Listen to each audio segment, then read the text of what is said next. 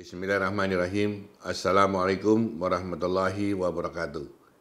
Saya A. Lanyala Mahmud Mataliti, Ketua Dewan Perwakilan Daerah Republik Indonesia, mengucapkan selamat ulang tahun ke-70 untuk Korps Komando Pasukan Khusus atau Kopassus.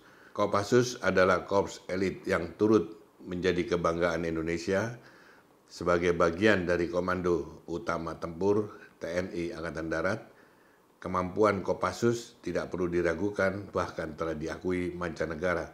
Sebab Kopassus memiliki kemampuan khusus seperti bergerak cepat di setiap medan, menembak dengan tepat, pengintaian, dan anti teror.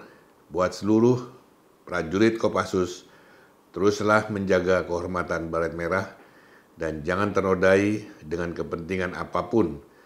Kopassusku Kopassus kita, Kopassus Indonesia. Wassalamualaikum warahmatullahi wabarakatuh.